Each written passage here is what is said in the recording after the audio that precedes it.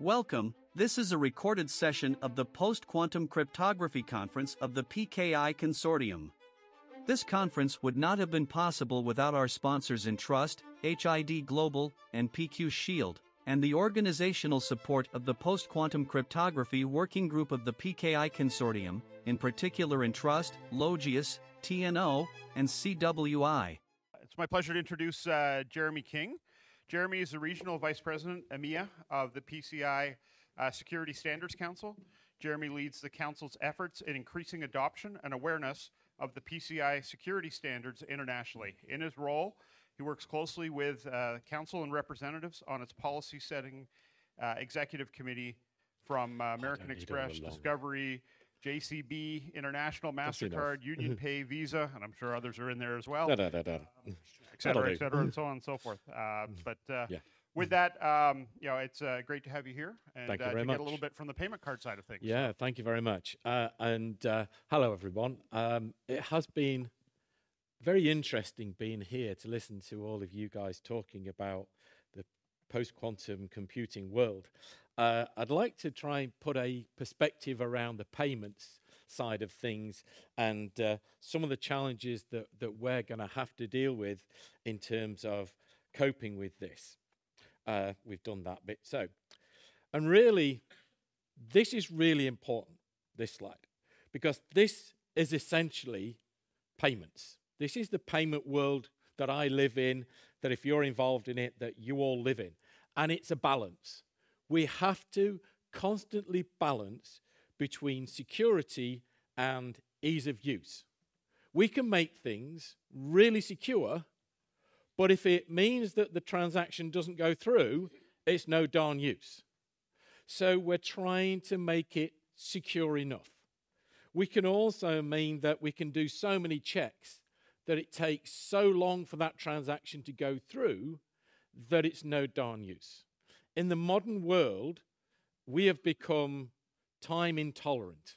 We don't like queuing, we don't like waiting, whereas five, ten years ago, we would happily stand at the cash desk while the uh, point of interaction machine dialed up to the local bank and then sent the data at a bit stream of however. Uh, now, with contactless transactions, this is sub half a second. So anything we do that is going to increase the time of that transaction above sub half a second starts to be a challenge. And you can see where some of those discussions have gone around, things taking a heck of a lot longer, how this starts to grate with me. The other thing, and this is the really important thing, underpinning everything we do in the payments world is hideous legacy. Is legacy systems that are so old that you wouldn't believe them. But they are the world we live in. They are the world we have to deal with. And for many of those payments to be able to work at all means they have to work at the lowest system capability, which is poor. And this is our world. As we all know in the nursery rhyme, we have the three choices of the house for the piggies, uh, and we know where they all end up. Um, but in terms of turning this into security, we have low level security, mid level security, high level security, and start thinking about this in terms of how we are using security in payments. And okay, we've started with some low level security, and the criminals have broken that, so we've gone to a mid level and then to a high. But if I move my house of straw into the house of bricks, is it secure? Can I still use it? Because I've got the house of bricks surrounding it. And that's a lot of how payment systems work in banks. There is very old technology surrounded by a secure environment. And of course, the wolf comes along and does his brute force attack. And he will brute force and blow down all of those apart from the house of bricks. Uh, PQC has given him a RPG. He doesn't need to blow it down. He is just going to blow the thing apart. And that's what you guys have presented over the last couple of days. You are introducing this new thing that is going to blow apart everything we thought was secure, and we have to deal with it, bearing in mind our scales and trying to keep the whole thing working. It's quite a challenge for us. We're, we're, we we have a lot of issues. And then we have to understand in our world, we have the criminals. And the criminals have been attacking us since forever. And as we change, they change and react. As we improve, they do different things. And it's never one type of criminal, and it's never one type of thing thereafter. And this has changed significantly post uh, COVID. We're seeing that the criminals are now not only monetizing payment data, they are monetizing data full stop.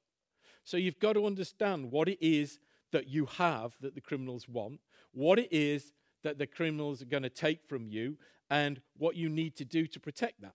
And it's different things in different areas, even within the payment space. And it is a constant challenge.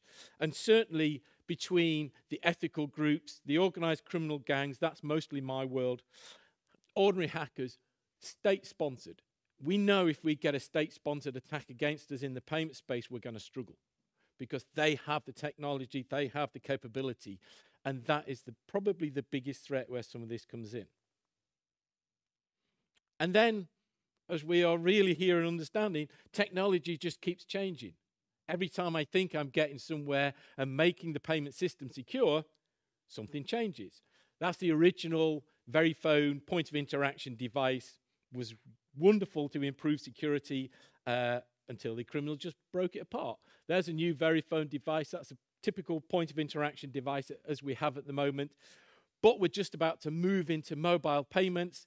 And um, gosh, I got his name. Gustavo's presentation just filled me full of confidence. Not um, because the challenge is there.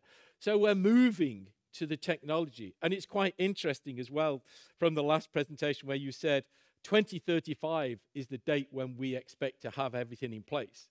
By 2035, we may not even have chip cards, they may have gone. So we're trying to solve a problem and trying to get people to move to something that we don't even know is going to be used by the time we get there. That's quite a hard sell to in the banking and the payment community when we're dealing at trying to keep the criminals out today.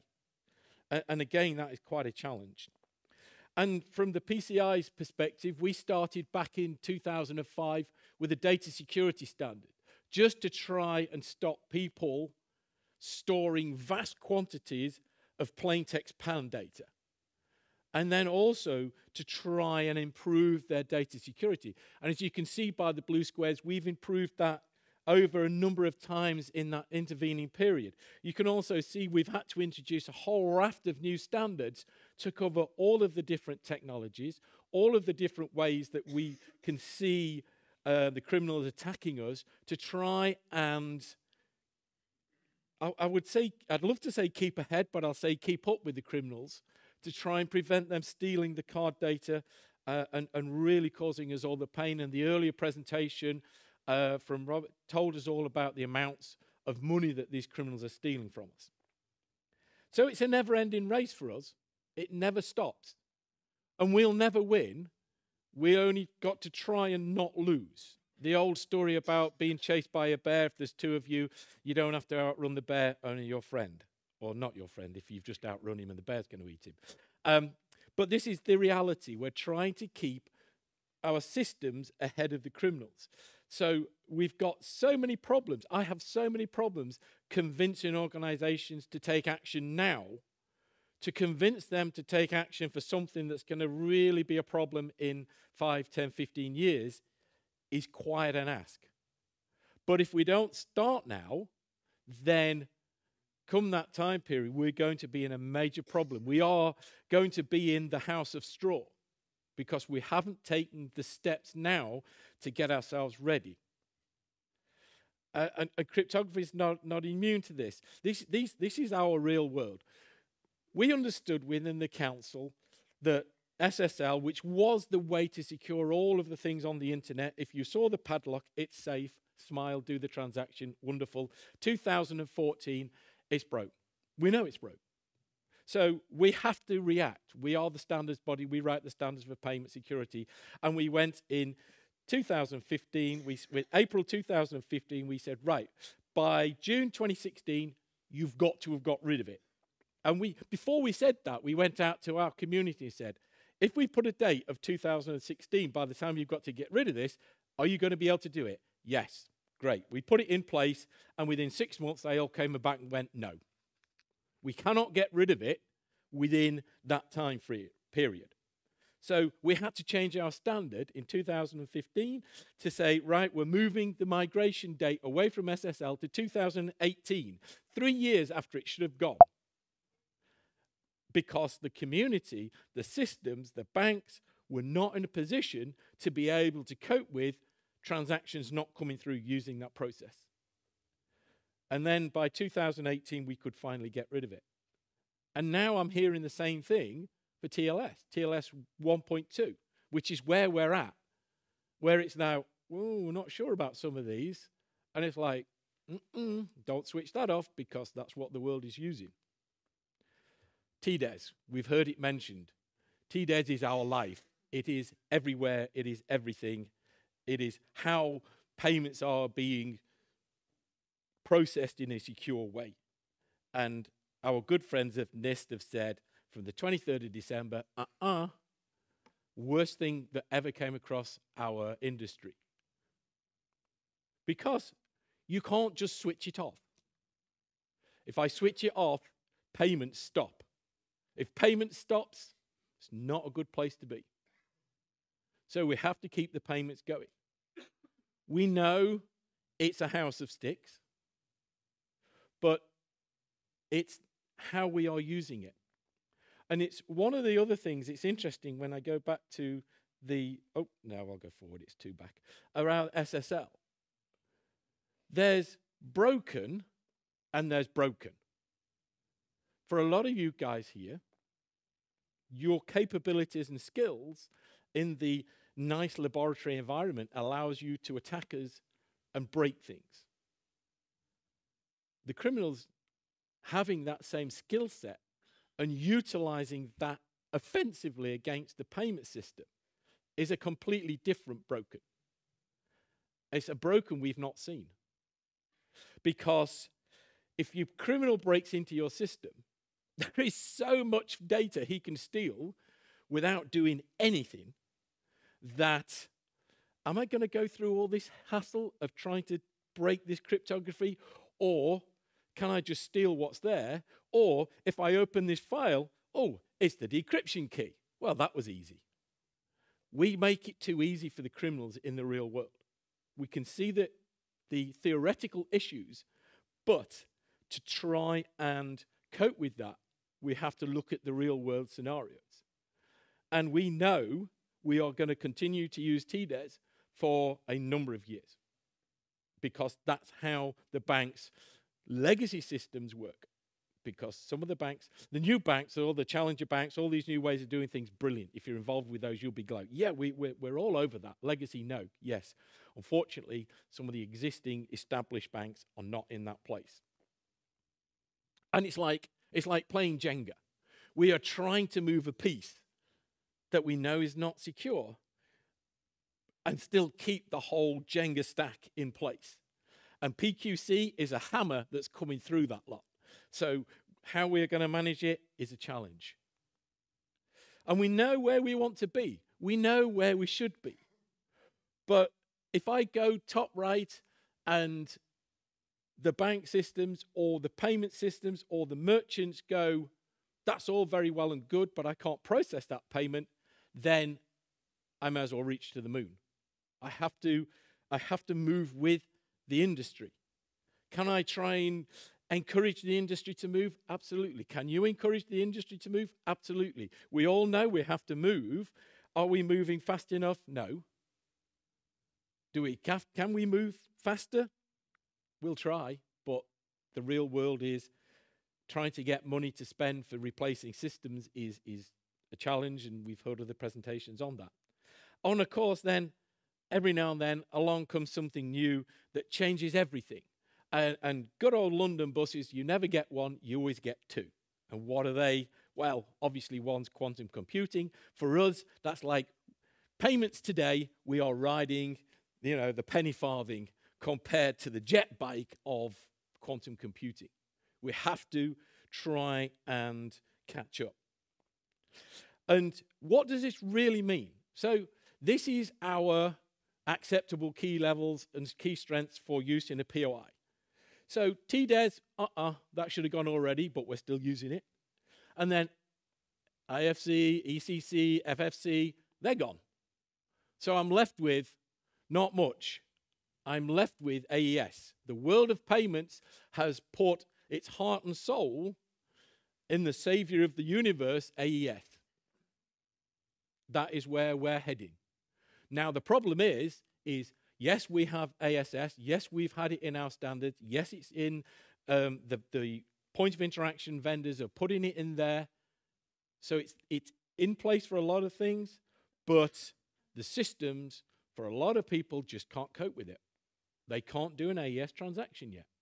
So I've got to get these processes in place to be able to move to where we want to be to try and protect that data going forward. And thank you, IBM. I pinched this off one of your um, documents you put on out.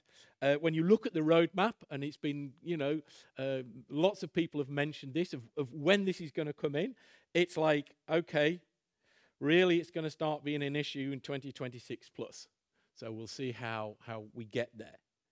Um, so, do I need to be worried? Does the payment industry need to be worried today? Um, yes, it should be, but with so many other problems, I've got other issues. I've got bigger issues to challenges to sort out. You know, if it says 2048-bit RSA is going to be um, broken sometime after 2026, okay. But again, I'll come back to there's broken and there's broken. Um, do I see criminals buying quantum computers? Well, I hope you've put better, you know, restrictions on who you're selling these to than selling them to the criminals. Can they go on cloud and use this? It, well, it probably, and they probably will. So you will need to check who's coming into your quantum computers to do this. Um, are there going to be um, nation states that are going to use quantum cryptography to attack you? We don't like to say it, but yes. But is that broken for us in the paint space? No, not yet. I've got, you know, 10 years plus. Okay, we can start ourselves on that roadmap. And even when we do, these are the real world challenges we faced. One of the other, I think Robert spoke earlier. There are 250 million POI around the world globally. Most of those are not or do not have the capabilities for remote update, which means I need a man in a van to go to 250 million locations to update every point of interaction terminal, which means that is probably my 10 years of time I've got just doing all these updates. I've got 3.2 million ATMs in use globally. I promise you there will be some of those still using OS 2. They do. That is the world we live in, in payments. That is how old we are. Uh, the HSMs, I've listened with interest. The HSMs guys were smiling. I've never seen HSM guys smiling so much. They, they, they see the business opportunity. Good on you guys. I look forward to seeing those coming through because they underpin us. They are the, fundamental underpinning of, of payment security. So they're being able to move that, brilliant. Happy with that. And it's great that we've got these. And I was really happy until Jup's presentation this morning. He went, Oh, yeah, these, can all, these are all weak against side channel attacks. I have lived my life with side channel attacks. I was there near the start. I've been working on this stuff on chip cards, on point of interaction terminals. It's interesting about the new technology. When, when I was early days of working on a point of interaction terminal, it had so many components in it the noise was unbelievable. You couldn't make out anything. And then gradually those components started getting pulled in, removed, and we started using just a single chip computer. And suddenly, oh, we could hear it singing. And suddenly we are became aware of the side channel attacks against the terminal we've always known against the chip. And if I've got the challenges of that in this space, and also all of the memory issues, and all of the slow performance, it really doesn't fill me with confidence at all that this is going to help. So I can see we've got not only the work to get ourselves moving to that space, we have got the challenge of getting ourselves there and making it work in a way that the modern teenager is going to be able to stand there and complete the transaction in under half a second in a secure way. So, what does this mean for us as the PCI Security Standards Council? There's the old way we're used to, there's the new way we have got to move to. How do we write standards that are going to be ready for post quantum computing uh, world? Um, we have to. We're going to be attending and listening to you guys. You are the ones, you're the community of experts that are going to be able to guide us on where our standards need to go in the future to help protect the payment space because that still remains the challenge. We have still got to protect the payment space. And if that wasn't bad enough, this is my real and present danger. I have more problems today with the challenge of AI in payment security than something that's going to occur in 10 years. And you're going to say, but that's a sledgehammer. Yes, but that's now, clear and present danger today. So I've got to manage them both. And if them two ever come together to make something super bad, then I'm really struggling. We are a standards body. We try and maintain our standards. We try and see where the future is going and move with them. Our 15 standards apply across the payment sector and across the industry. Uh, and we have various ways you can be involved with us, and I'd be glad to. So, quick summary of where we're at. It isn't a case of right and wrong. It isn't a case of let's all move to the house of bricks. It's about managing that process. We have to manage that process against the challenges of the payment industry that we have today, that we're going to have tomorrow, and the future. And we can't see the crystal ball. We don't know where payments are going to go or, how they're going to change. We can see them changing we can see new ways of doing a payment, different challenges, and we can see the challenges of PQC coming along.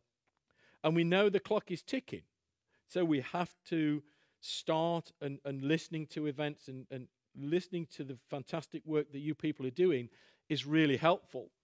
But we have to take that and turn it into the real world challenges till we can move it forward and then understand how long it's going to take not only for the potential to be realized in the laboratory environment, but how much longer do we have on top of that before the criminals can actually use it against us? And that brings me right back to the start, which is I'm back to the scales. I want to be able to provide a good level of security.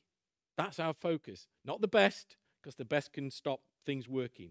Definitely not the worst, this good level of security that provides sufficient risk prevention, that provides a frictionless environment to the payment industry that will still rely on whatever legacy infrastructure is there when we get to wherever there is. But it's, that is the world of the council. That is the world of payment security. That is the challenges we see today, tomorrow, and the future. And everything we've talked about and you've talked about for the last couple of days just make that more challenging, more interesting. If you're a techie person, you get more interested in this, but it is there. Um, thank you very much. Excellent. Okay, I have a feeling there's going to be a few questions on this one, but first I just want to say I don't want to use my cards anymore. I, can't, I, can't, even go to an ATM and use that to get cash out. So, with that, please, your question. Much. That was uh, that was a great presentation. Thank you for that. Um, I come from my, my, past from the payment industry, uh, and 10, 15 years ago there was a proposal to migrate EMV to EMV Next Gen. We all know how that ended up. How confident are you that this will be, I think this is way more difficult than EMV Next Gen. Um, how confident are you that will succeed? Um, that's a very, very good question. Um, I'm confident I'll see it. I'm absolutely confident I'll see it. I am not sure in what guise, format, or method I think that the industry at the moment is in such a significant period of change with so many new ways of doing things that it could be that we see it in any way different, you know, any number of different formats. Um, but whatever that format, by the time we get to 2035, which seems to be a, a reasonable date that a lot of people have talked about, we need to make sure that we have taken the considerations of PQC in, into account and put in the processes so it can operate in that environment. Because if we don't, then we're in, we are in trouble. The, the scales have gone completely the wrong way. So quick, quick additional question: Do you see a big difference from where how it went with EMV next gen and this one? Yes. Okay. Yes. I think if, if I can give any sort of sort of way to think about it is, um, if you think about where we were in 2010 in technology and payments industry, um, this is almost like pre iPhones and iPads to now, 13 years later. So think of that in that same sort of period. Where are we going to be? It's going to be really quite exciting and challenging. Uh, yes, uh, um, uh, I, we heard about uh, all these uh, payment uh, systems that cannot be updated in the field. Uh, are you preparing uh, to have more uh, ways of making those agile? Because we heard the word agile quite a lot during these days. so obviously they need to be connected to a, network, I suppose. so mm-hmm. are there any plans? any plans for that? So I think the uh, point of interaction terminal vendors, like the HSM terminal manufacturers, are smiling because yes, if they can see a way of replacing every terminal with a brand new one that can be remotely updated, then that will be that will they will love that. Uh, so there will be changes for a lot of organisations. They will see that coming through. There will still be, and, and when you look at all of those those um, merchant locations, the massive, you know, your 90% of small merchants are what the Americans love to call mom and pop stores. And they've got a terminal. And the other challenge we face, by the way, with, with payment technology is it works. You make it and it works for years. And the problem is, is if you've got something that's working, you don't want to get rid of it, especially if it's going to cost you money as a small merchant to replace it. So why do I need to change when the old one works just fine? Uh, and that's the that's the other sort of legacy issue we face is at some point we're going to have to do and i think someone mentioned about you know, when you go from your iPhone 10 to your iPhone 12 to your iPhone 14 the iPhone 10 suddenly doesn't work maybe that's at some point we're going to have to sunset older stuff We've done it with certain things. We saw that when we went from uh, when we introduced EMV cards in the first place into Europe and then into the US. It gave us an opportunity to change. And going from chip to contactless, we gave us an opportunity to change. So it will change, uh, but it'll be slow. And there'll be stuff that's out there forever that you're just trying to find and hoover up. And Jeremy, we uh, a couple of questions we'll take from the online forum. Okay. Uh, if you've got a, another moment or two to share with us. Mm-hmm. Um, this one you sort of hit on, but uh, uh, the the question is uh, is an interesting one nonetheless. It says and it's a bit lengthy, so please uh, bear with me here. PCI DSS was updated to version four in 2022. It defines strong cryptography as supporting a minimum of 112-bit uh, of security, which you did cover the, the, the nuances there uh, and the challenges. Uh, goes on to to iterate, you know, that that, that has been deprecated and, and should be deprecated. Mm-hmm. The crux of the question is, uh, you know, uh, what is PCI's position uh, with regards to mobilizing an active management of modern cryptography in the payment card industry? That's a very good question, and, and we work with we work very closely with NIST. Um, you know, we try to collaborate and cooperate.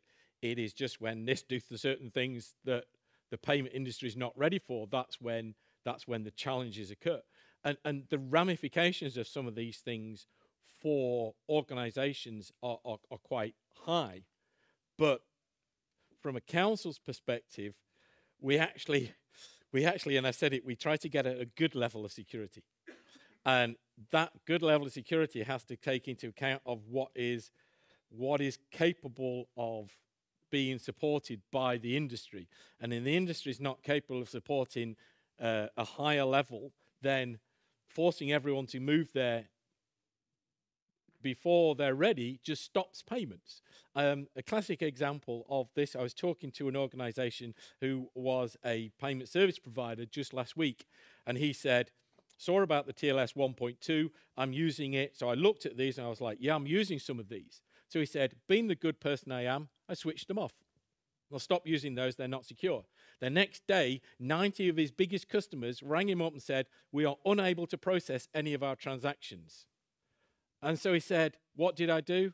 I switched them all back on again. I cannot lose 90 of my most important uh, customers. I cannot stop transactions going through.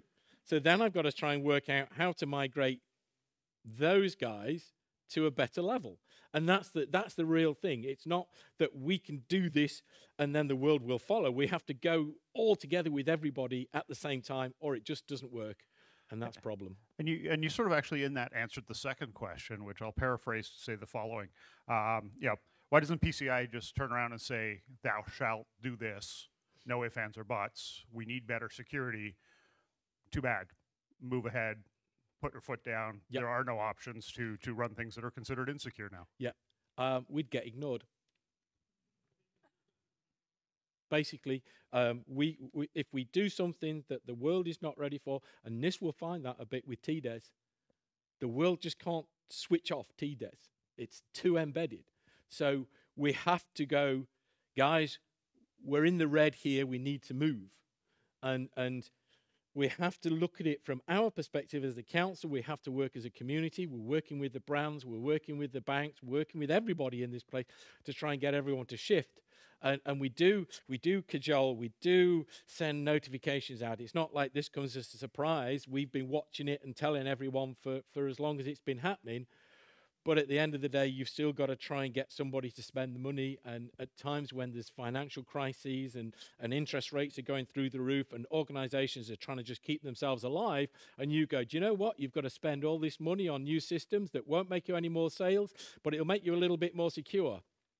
Yeah, that goes down well. So it's trying to get everyone to come along and move to that improved way. But it is challenging. Great. With that, I want to thank you very much. That was a, a very informative uh, presentation. Thank you very much.